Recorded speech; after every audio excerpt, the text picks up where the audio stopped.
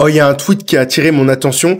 C'est une femme qui a, qui a, qui a marqué coffrez vos daddies maintenant ça y est. Bon apparemment celle qui a tweeté c'est pas la femme sur la vidéo, mais en gros c'est une femme bon je dirais qui est max max 30 ans, qui a max 30 ans, qui sort avec un homme bon, allez de 60 70 ans, mais qui a l'air d'avoir des tales. Il a l'air d'avoir des, sous le gars. Et la meuf elle vit elle vit sa meilleure vie parisienne avec son baby daddy avec, avec son est-ce que c'est son baby daddy? Non mais en tout cas c'est c'est euh, c'est un mec euh, qui à mon avis ils ont une relation romantique etc donc la nouvelle mode c'est de coffrer ces Jellies coffrer ces hommes riches qui ont de la old money de la money de l'argent depuis plusieurs générations pour vivre la meilleure vie sur Paris tu vois au calme.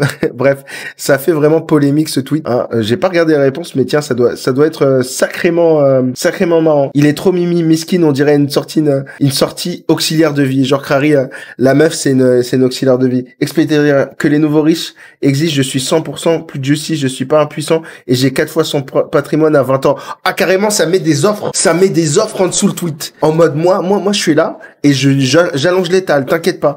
Et la meuf, elle a dit je peux sortir avec toi. Ou, eh frère, elle sait même pas son physique, rien. Elle sait même pas comment il est. Il a juste parlé d'argent, ça l'a affolé. Avoir des des sugar daddy et être escort, c'est quoi la diff vraiment? La vraie question, c'est une vraie question. Je pense pas qu'il y ait une vraie différence.